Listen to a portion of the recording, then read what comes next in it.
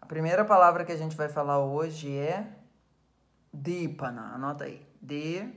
Aí no geral em inglês você vai ver com dois S, P-A-N-A. Ok? Como se estiver pesquisando na internet vai ser isso. Em uma forma um pouco mais adequada de escrever é que esse E vira um I com um traço em cima. Dipana. Tá? Dipana significa reacender o Agni. E é muito importante no que a gente estava conversando, no sentido de ah, só comer quando ter fome, mas também aprender a acender o Agni quando é, a fome não está ali. De uma forma muito evidente, isso é quando a gente está fazendo fogueira, a lareira principalmente, e chega um momento onde parece que a lareira está meio morta, tem um calor ali, mas não tem chama, ok?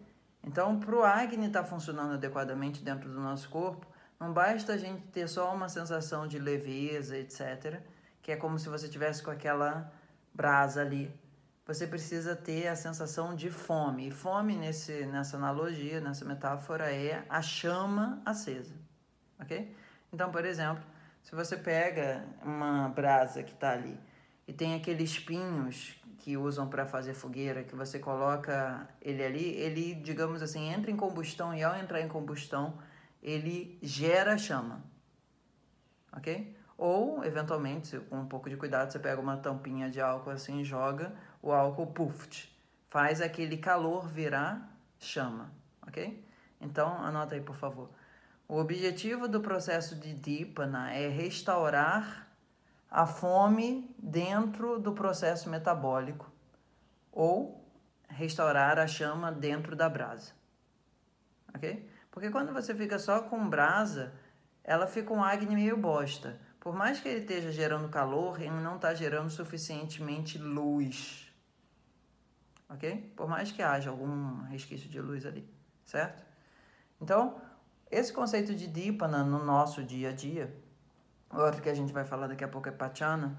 O conceito de Dipana, existem algumas coisas que são altamente Dipanas para o corpo humano. A principal delas, disparado, é o uh, cominho. Tá?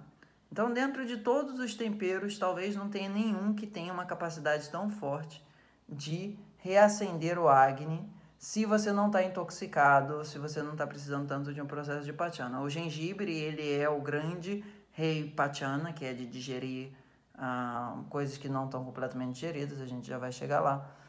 Mas se você está num estado que você fez um dia inteiro de jejum, e tua fome não voltou, significa que você, em algum grau, precisa fazer um DIPA, né? Ok? Do ponto de vista ayurvédico, você fazer um jejum de 24 horas e teu corpo não ficar fraco, etc., não tem problema, tá? O segundo Dipana que existe, que é muito importante, se chama água ah, medicada. Tem uns vídeos meus de água fervida reduzida à metade, mas a ideia do Ayurveda é eu também fiz esse vídeo naquela palestra lá do colóquio que é sobre água com limão. Mas você pode pegar uma água que seja num recipiente que não seja de alumínio, ok? E uma água que seja suficientemente mineral, por exemplo, na Suíça, em alguns lugares da Europa que a água é muito mineralizada. Se você fizer essa água reduzida, não dá certo, ela fica pesada, ok? Então, o objetivo dessa água medicada é medicar a água com acne. Então você pode pegar ela e ferver a 3 quartos se você tem muito problema de emagrecimento fácil. A metade, que é, digamos, o normal, ou a um quarto, que é a versão mais rock and roll na cabeça do cafa, ok? É a versão espreme cafa. Então essa água fervida reduzida à metade, ela é uma água homeopática no sentido de que só tem água ali, mas tem um efeito que está impresso na organização molecular, ok? Então essa água fervida reduzida à metade, o bom dela é que ela ou a um quarto, ou três quartos que seja, ela pode ser inclusive usada para gestantes. Então, quando uma pessoa está com acne bosta, que está lá só aquela brasa, mas a chama não aparece, uma das coisas que a gente deve fazer é só tomar a água fervida reduzida a três quartos, metade, um quarto, da seguinte forma: você faz e vai tomando. De preferência, se o clima não tiver um calor absurdo, você toma ela bem quente, o mais quente que der. que, digamos assim, for confortável, ok? Não é para queimar a boca, tá? Mas a ideia é que essa água, ah, quando ela está fervida, reduzida na metade, ela está quente também, ela tem um efeito patiana, que é de desengordurar o sistema. Que nem quando você está lavando louça, lavar com água quente é muito mais fácil, ok? Então, essa água fervida, reduzida à metade, se você fizer ela com cominho, ela vai virar uma decocção, ok? Uma decocção de cominho, e a gente no Ayurveda faz decocção de um monte de coisa.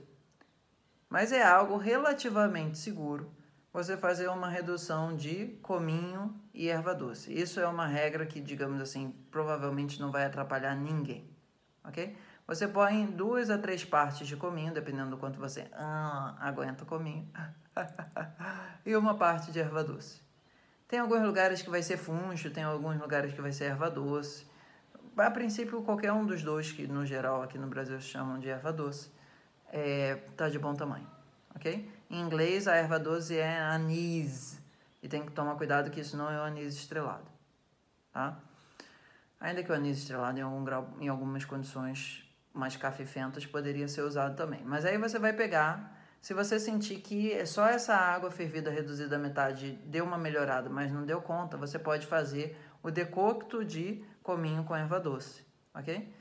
E a ideia é mais ou menos o seguinte: põe naquelas garrafas de café, sabe que você tira, você, ah, de preferência bate o cominho e a erva doce, tá?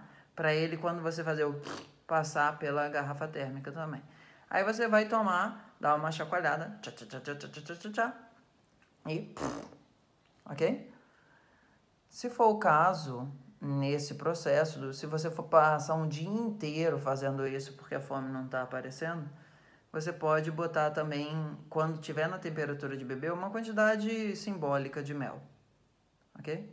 O mel pro Ayurveda, ele também tem características dípana. Aí tem, tem, tem discordâncias sobre isso, mas na minha experiência, usando dessa forma, isso tende a dar certo. Caso a pessoa senta que está precisando de um pouco de açúcar no sistema, ok?